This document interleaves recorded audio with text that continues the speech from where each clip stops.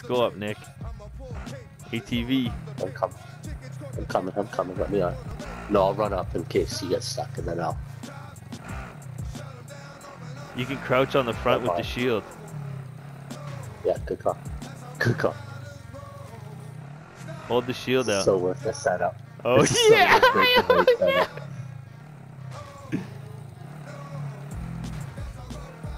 go get him! Go get him! someone at the end there too. Hit him. Hit him. Go get him, Nick!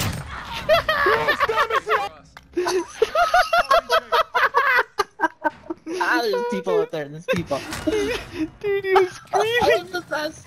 He Yeah, was yeah, screaming.